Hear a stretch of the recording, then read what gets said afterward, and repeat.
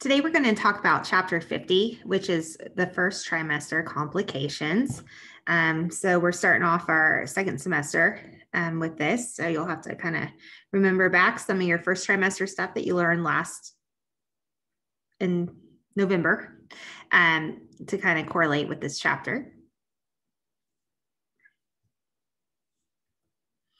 So first trimester bleeding. Um, so the first trimester, if you remember, uh, it contains the weeks of from conception to 13 weeks, six days, and that's considered the first trimester. So if um, a patient has bleeding within those weeks of gestation, it's considered first trimester bleeding. And this is the, the most um, common, common time that a patient would have bleeding would be in the first trimester. Some of that could be due to implantation, some of that could be due to miscarriage, um, but about 15% of clinically recognized pregnancies spontaneously miscarry. So it is kind of a high chance um, in the first trimester that a patient would miscarry. Some of these occur um, as chemical pregnancies where there's not really a patient gets a positive pregnancy test, but yet um, then spontaneously starts the period about a week later. Um, so the gestational sac fetal pole has not been established within the uterus. Other times, a patient could have already had a viable pregnancy, um, and you know we got fetal heart tones, and we got um, a good measurement and the baby was looking good.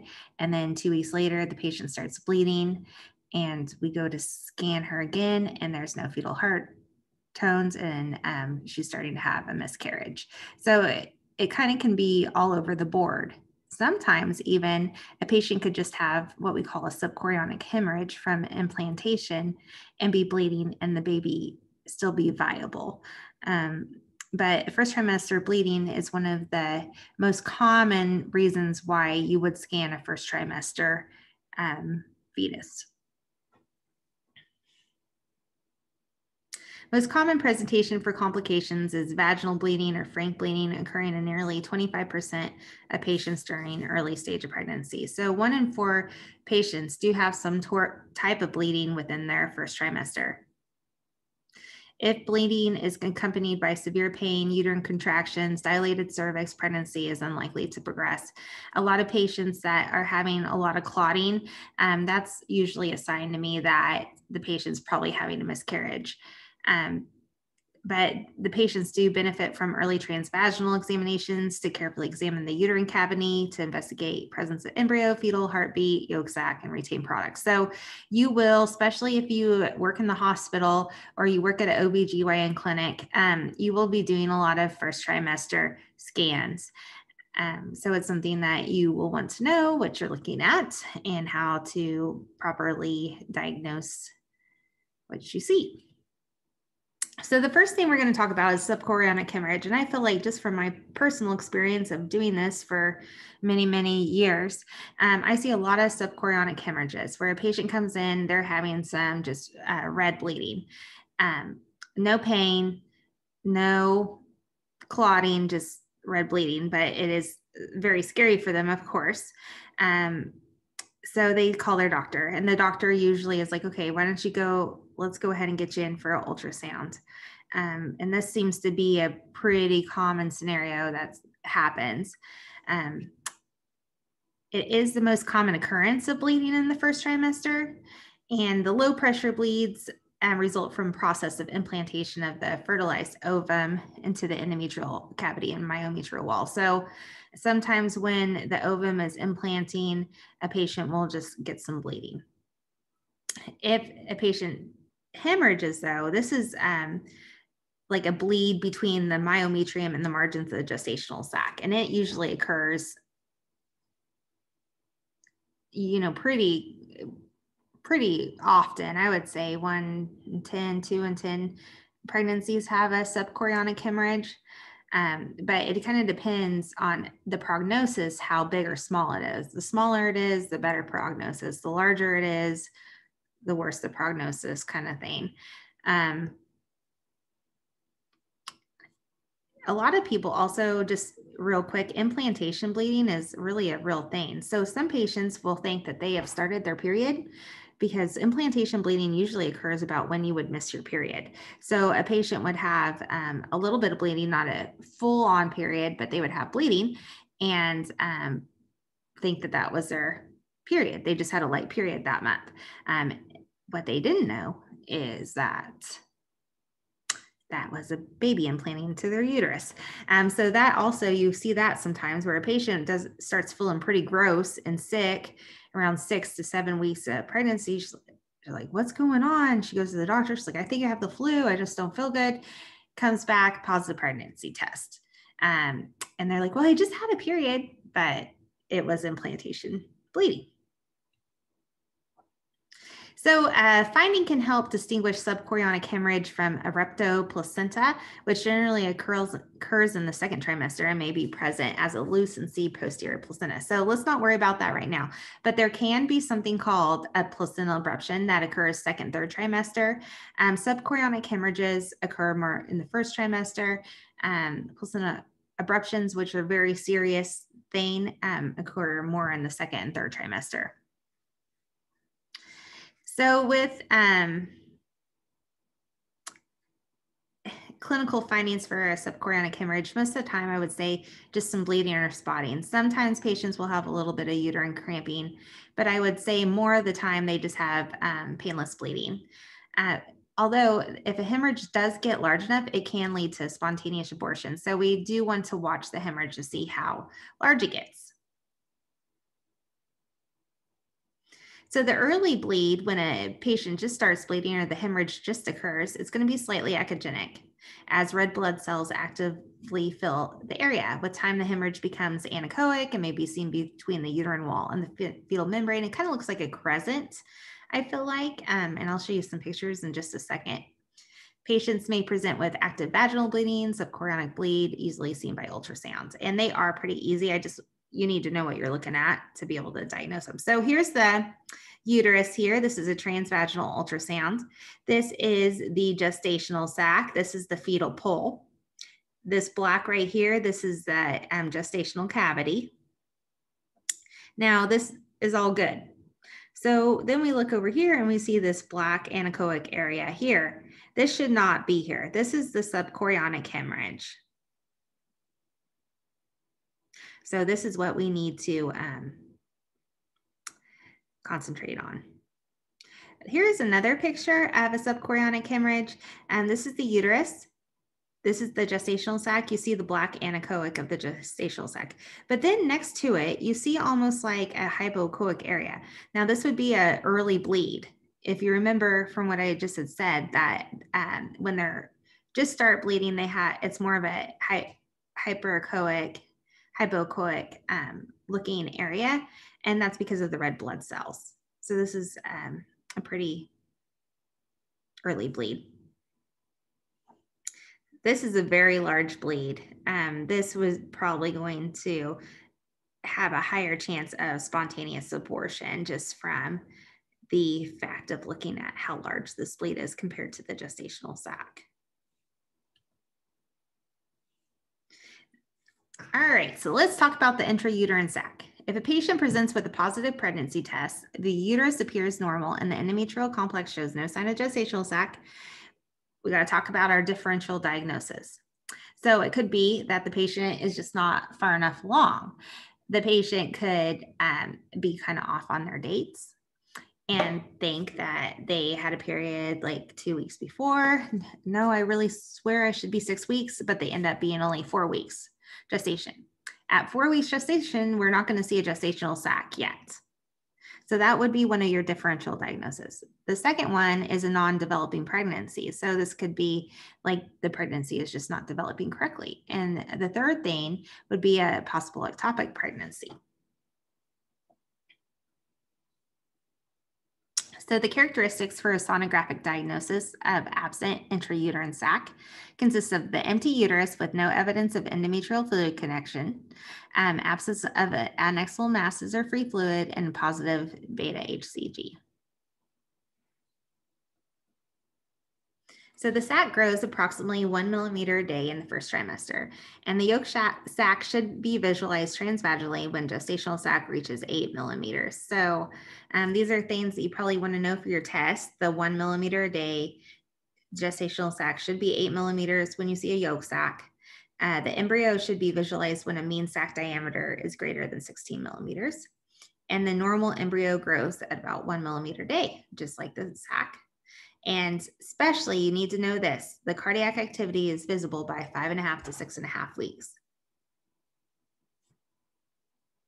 Now, I have a personal example of this that um, with my last pregnancy, I knew I was pregnant really pretty early, about four weeks. And so when I scanned myself, um, all I saw was just uh, really thickened endometrium. Um, but I didn't see a gestational sac until about five weeks. And so I was kind of on that. Is everything going to develop okay? Is there something wrong? Um, but really, you don't see a little gestational sac until about five weeks gestation. So about a week after your miss, miss period. So if for some reason, let's say that the pregnancy is not developing correctly and it just is like a chemical pregnancy, some kind of chromosomal abnormality that happens all the time, um, just things, implantation didn't occur, just things that do happen. The serial HCG levels, the blood levels, are going to dem- demonstrate successive decline. But caution should be taken when positive pregnancy tests and an empty uterus is seen. So the possibility that this was just a normal early intrauterine pregnancy between five, three and five weeks could be possible. So if, let's say, a patient comes in and I just see a thickened endometrium, patient unsure of dates. Um, I look at the ovaries, I don't see any adnexal masses, but the patient has a positive pregnancy test and the HCG levels are on the fence of where they would be when you saw something in the gestational sac. What usually happens, I would tell the doctor, and the doctor would set up another ultrasound within a week because within a week, with all the how much everything grows, um, we should be able to see a gestational sac, a yolk sac, or fetal pole. So they'll um, correlate the HCG levels from the blood with the ultrasound to make sure everything is developing correctly.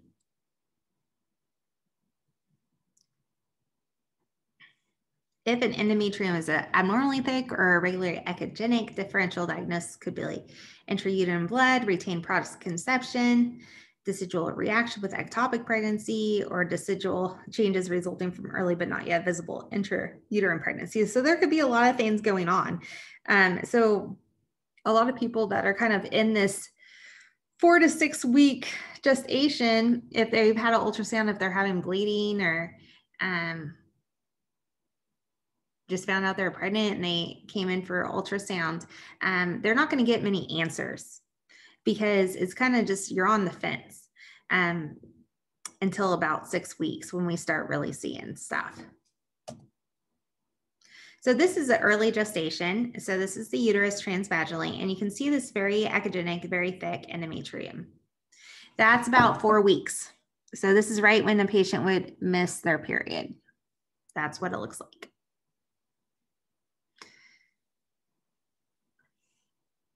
So an incomplete spontaneous abortion may show several sonographic findings ranging from intact gestational sac with non-viable embryo to collapsed gestational sac grossly misshapen. So a lot of the times, let's say a patient is having bleeding and they come in here and you see this kind of sac.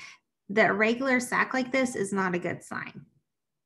Usually that means that the patient will start having a miscarriage soon or um, is having a miscarriage.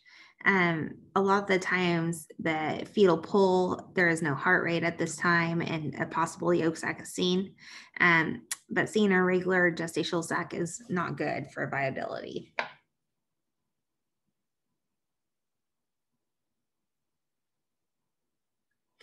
So when a patient's having spontaneous abortion, a lot sometimes you will scan a patient who is just really bleeding and clotting. Um, and they might still have retained products, which means they haven't like gotten everything out. The uterus hasn't contracted everything out. Um, so when that happens, you might still see a thickened endometrium, um, increased vascularity of the endometrium, and then um, color Doppler will help you with that. A lot of the times, these patients will continually bleed, and the uterus will do everything by itself. But sometimes um, a patient doesn't get all of the retained products out, and the doctor has to go in and do what is called a, a D&C to remove the rest of the um, retained products of conception.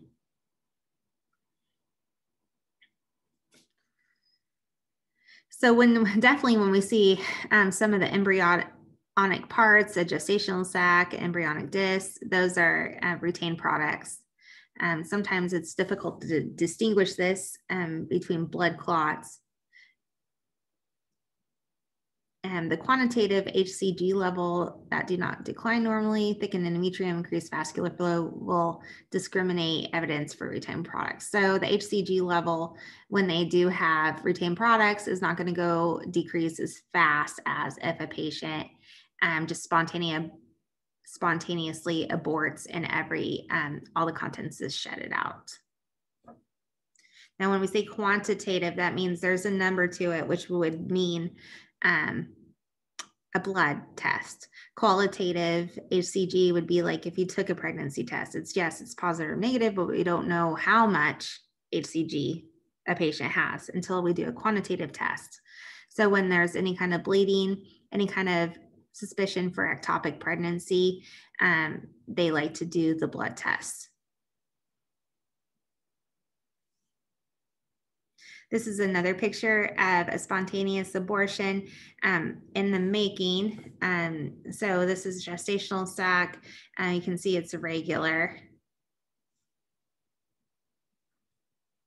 This is another one. Um, where you can see some of the gestational sac almost hitting the cervix here.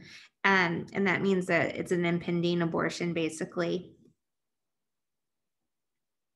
And here's another one. It just is not a normal thing. There might be some clot within the gestational sac now.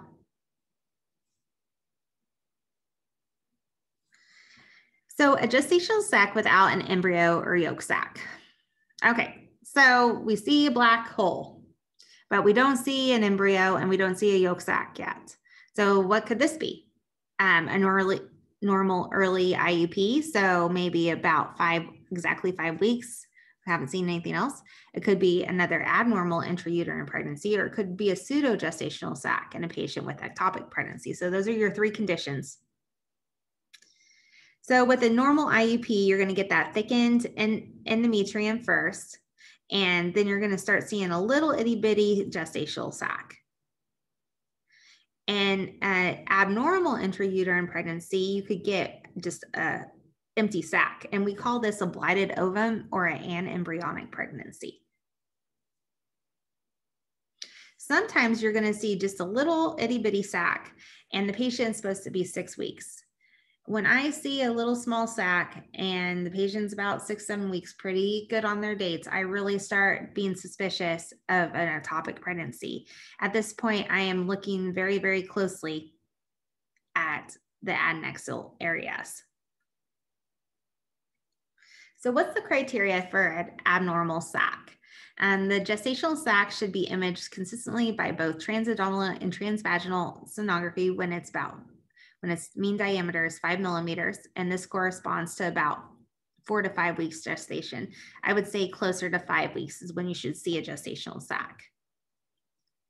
So sequential scanning can document appropriate interval growth of one millimeter a day and lack of appropriate growth indicates abnormal sac. Now, when you're a crazy sonographer and you're pregnant, and you can't judge anybody because you're all crazy because um, you want to make sure everything's okay and you have the imaging to do so. So, yes, I have to say that I did scan Isla's gestational sac for many, many days in a row to make sure that it was growing um, correctly. And I can say, because I was teaching at the time too, that um, it does um, grow about one millimeter a day. So I did that for a while and then I thought I should probably stop once I saw a fetal pulse and a heart rate. but um, when you have the tools, you just kind of got to do it. Okay, there's here are some really um, important things for you guys.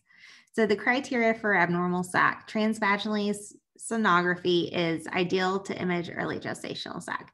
When a gestational sac measures eight millimeters or greater, a definitive yolk sac should be demonstrated.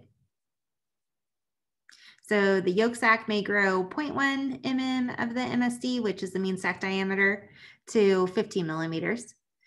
And when the gestational sac measures 25 millimeters, an embryo with cardiac activity must be seen. Now, I would say that the last one is the most important one for you guys to know. So when you do a gestational sac measurement, so from one end to the other end, and you don't see an embryo, it's probably going to be anembryonic pregnancy or blighted ovum.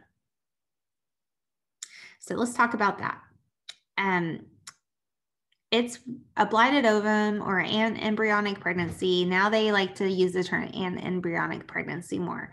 Is a gestational sac in which embryo fails to develop or stops developing at such an early stage that is imperceptible by ultrasound. So trophoblastic tissue may continue to proliferate and despite failed embryonic growth. So gestational sac will continue to grow and the quantitative HCG levels may continue to rise, but not at a rapid rate. So patient who thinks everything's going good, no miscarriage, no bleeding, still having symptoms of pregnancy, comes in around like 10 weeks and you don't see a fetus. And that happens more than you would like it to happen. But um, the bummer thing is, is that um, a patient does think that they don't know that anything is wrong because most of the time bleeding is not associated with this. Typical sonographic appearance of anembryonic pregnancy is a large empty gestational sac. Does not demonstrate yolk sac, amnion, or embryon, embryo. And that's pretty much what it looks like.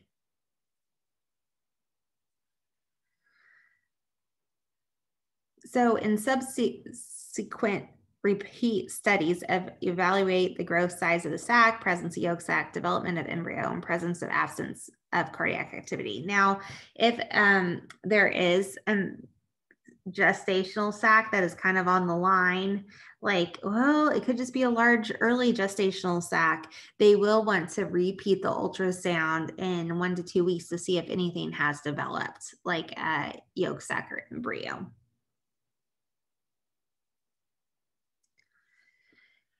Sonographic findings of gestational sacs associated with abnormal intrauterine pregnancies. Okay, so the absence of a cardiac motion in embryos five millimeters or larger, or absence of cardiac motion after six and a half weeks. So if you see an embryo, but you do not see cardiac activity with these two criteria, then it's a fetal demise. For the yolk sac, a large yolk sac or amnion without a visible embryo happens sometimes, or a calcified yolk sac. I see a larger yolk sac more. Um, and usually this means things just didn't, didn't develop correctly, or there was some kind of chromosomal abnormality, which seems to happen a lot.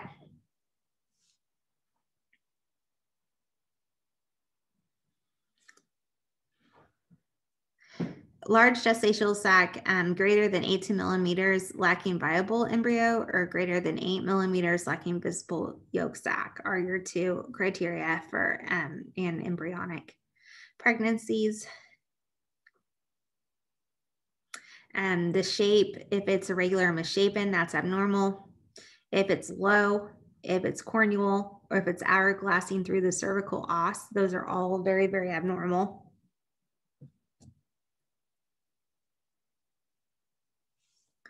Trophoblastic reaction. Um,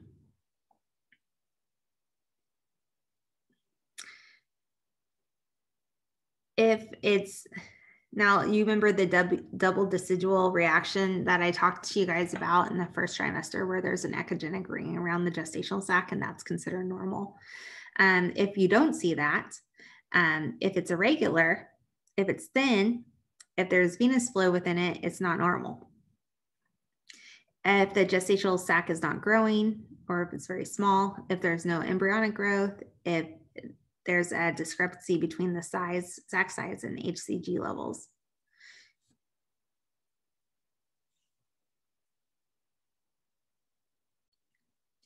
So let's talk a little bit about gestational trophoblastic disease and its proliferative disease of the trophoblast after abnormal conception.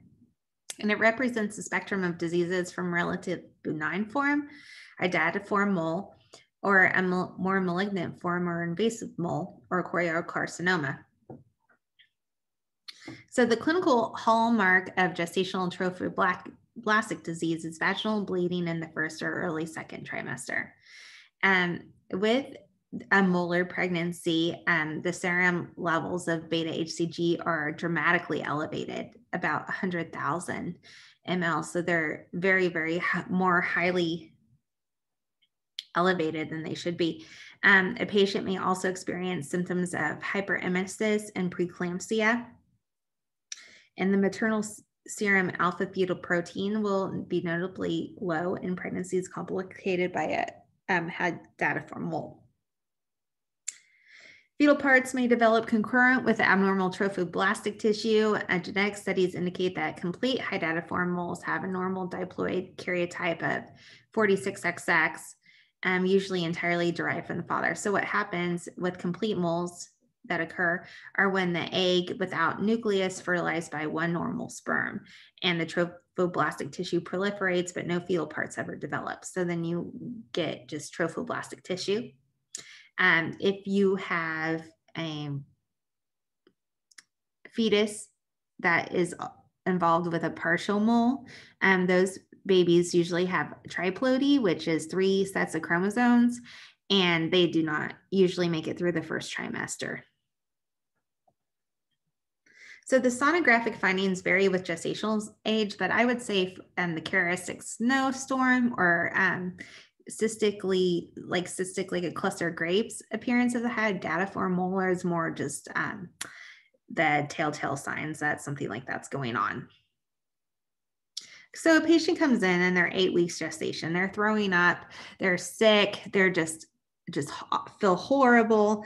Um, they have their blood pressure is high and you start scanning and you see not a gestational sac, but this large area here of trophoblastic tissues with little cystic areas. This is a hydatiform mole. This is what we call a molar pregnancy. The patient will have to have a D&C. They like to watch the um, HCG levels on these patients to make sure they get to zero. Here is another hydatidform mole. You can see um, it just with lots of area. I would say lots of hypoechoic area and some cystic areas too. I would say more than likely, I usually see this form of hydatidform the most unless it's a partial mole. A partial mole looks more like this, where you're going to have gestational sac here. You're going to have large, gross, almost like tumor looking thing within the gestational sac. And that's part of the mole, molar pregnancy. Sometimes you will see a fetus that is also accompanied with this. They are usually viable for a little bit, but I feel like around eight weeks gestation is when they um, a fetal demise occurs, usually in the first trimester. I don't think they usually make it past the first trimesters. And there's some vascular flow on it. So the appearance of first trimester molar pregnancy may simulate missed abortion, incomplete abortion, blighted ovum, or hydropic degeneration of placenta associated with missed abortion. So those would be your other things that you would consider. However, this right here is such a um, significant char characteristic of this um, type of pregnancy that I would be very, um, very confident to say that that is a molar pregnancy. so this is showing a coexisting fetus with a hydatiform mole. The color Doppler of the molar pregnancy shows high velocity flow throughout the abnormal tissue. Um, but yeah, sometimes uh, fetus will be also involved with this. On transvaginal sonography, abnormal appearing choriodecidual or trophoblastic reaction consists of disordered sac shape, then weakly echogenic or regular choriodecidual reaction, absence of double decidual sac, and mean sac diameter exceeds 10 millimeters. Usually no sign of viable embryo or early developing placenta exhibits multiple abnormal trophoblastic changes. So the sonographic examination may reveal uterus larger than dates, filled with heterogeneous complex pattern, bilateral adnexal fullness. Um, there might be what we call theca lutein cysts. You guys remember those from um, first trim or OB1. Um, and those are stimulated by high levels of HCG. So since patients with molar pregnancies seem to have a very, very, very high HCG, um, it seems to um, stimulate the theca lutein cyst to develop. So they might have multiple cysts on their ovaries too. So a partial mole on sonography has identifiable, identifiable placenta and placental tissue grossly enlarged and engorged with cystic spaces. The embryo or embryonic tissue may be identified, and often the embryo is abnormal and aborted in the first trimester. In um, later stages of pregnancy greater than 12 weeks, it's a known partial molar pregnancy. Um, you need to look for structural defects because of this baby is triploidy and not of a normal karyotype. They're probably going to have multiple um, anomalies. Now, unfortunately, which um, when I first started teaching, I was pregnant with my, um, gosh, second. I don't know. I've been teaching for a while, but I found out while I was pregnant and concerned and anxious about everything and teaching this crazy stuff that no, not only can you um, just have all this bad stuff that happens, but you can have malignant forms of the trophoblastic disease. Yes, you could get cancer while you're pregnant which made me very, very concerned.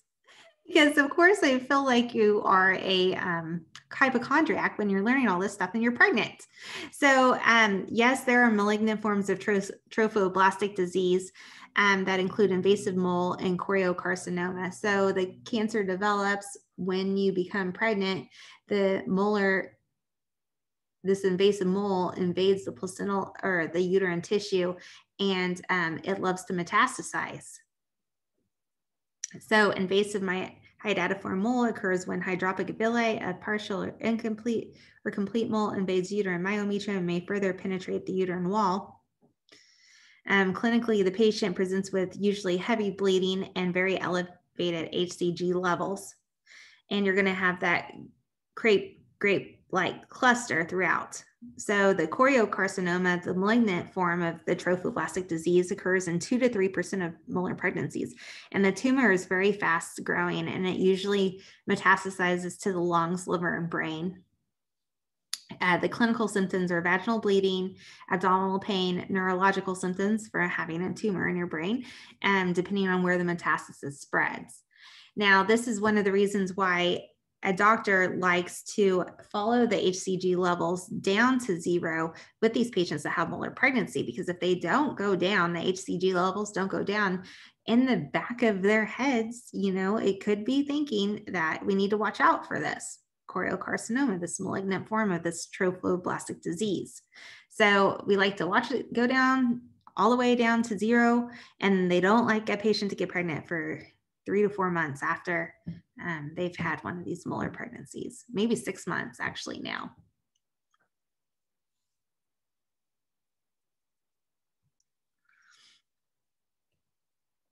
So abnormal or absent cardiac activity. Um, so identifying the IUP with or without cardiac activity is first conclusive sign of viability. So seeing a fetal pole gives you a little bit of hope that everything's going to be okay with this baby. With transvaginal sonography, living embryo should be detected by 46 menstrual days, um, about five weeks. And more than one sonogram may be necessary to establish normal pregnancy. Absence of cardiac activity in the first trimester is most critical sign for viability of pregnancy. So the heart tube forms between three and a half to five weeks of conception. And if the embryo is visible by sonography and cardiac activity is not, um, prognosis is poor. So they kind of almost simultaneously go together. However, I have seen that there be we scan a baby and um, the fetal pulse at five weeks and you can't quite see heart rate, and that's okay, um, because really um, heart activity doesn't start till five and a half weeks. Now, if you see a fetal pole and they're measuring six and a half weeks and there's no fetal cardiac activity, that's a very poor prognosis. So with transvaginal ultrasound, um, when the crown rump length, which is measurement from the top of the head to the booty of the baby, measures four millimeters, the embryo should demonstrate cardiac function. Generally, if any doubt exists in measurement, patient re-examine in several days to look for cardiac activity.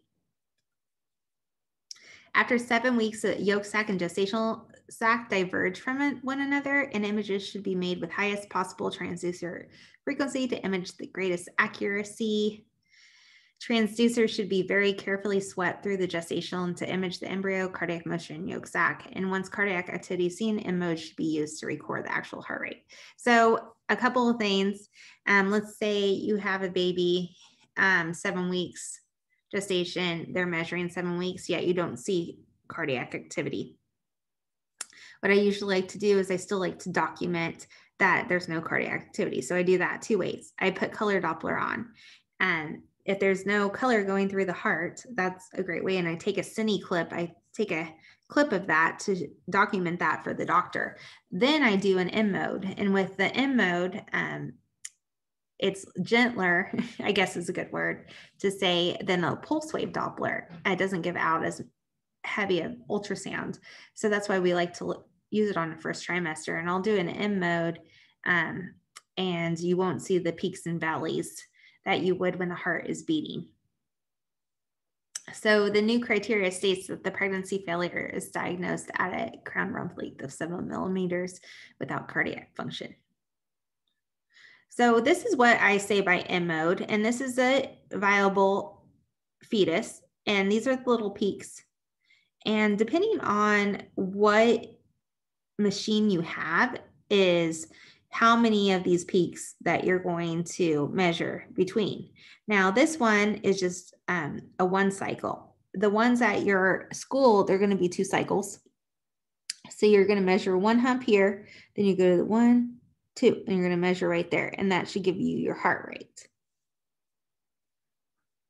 Here is a, another little thing of it. So this is the M mode.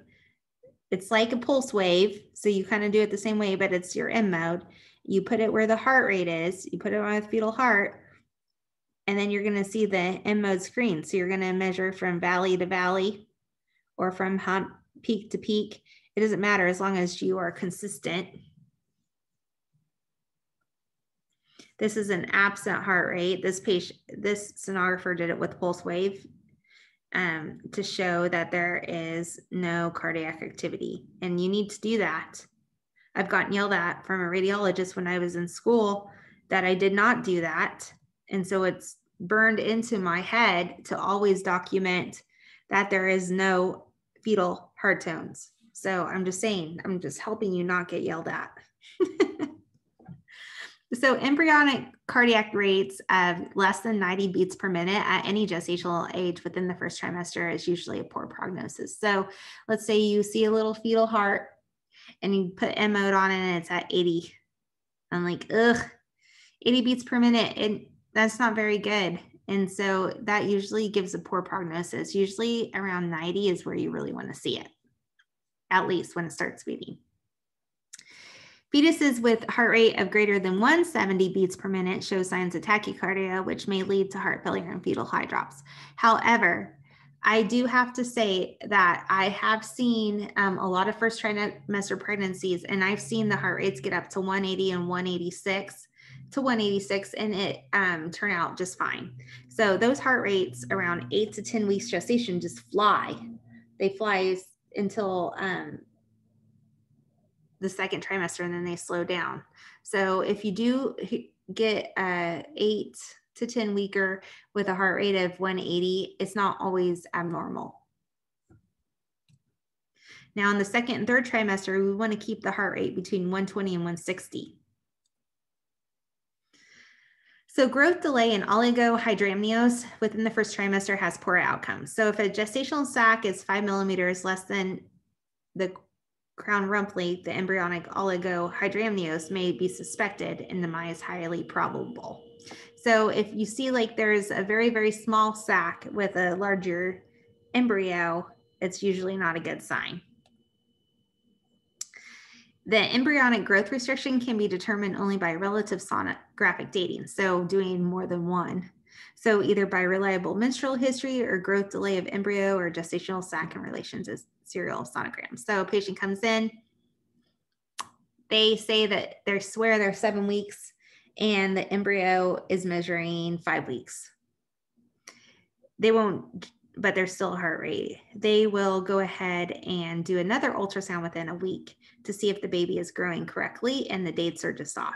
Now, if the patient comes back within the week, still five weeks, that's and there's still a heart rate, that's just poor prognosis. Um, usually the fetus will spontaneously abort.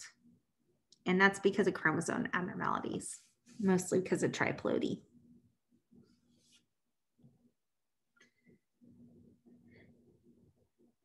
So there's the little yolk sac, and we want to see the yolk sac. It's the first thing to develop after the gestational sac. Um, you want to see the yolk sac also grow about 0.3 millimeters a day. Um, and you want a normal yolk sac to have a max diameter of 5.5 millimeters between five to 10 weeks. And a large yolk sac has a higher risk for spontaneous pregnancy loss and chromosome abnormalities. If the yolk sac is too large, it usually means there's something wrong with the fetus. Well, that's just what I said. If yolk sac abnormal in appearance, too large for gestational age, misshapen, or highly echogenic, patient should be watched for early pregnancy failure. Um, if cardiac activity is present, pregnancy should be followed carefully with ultrasound.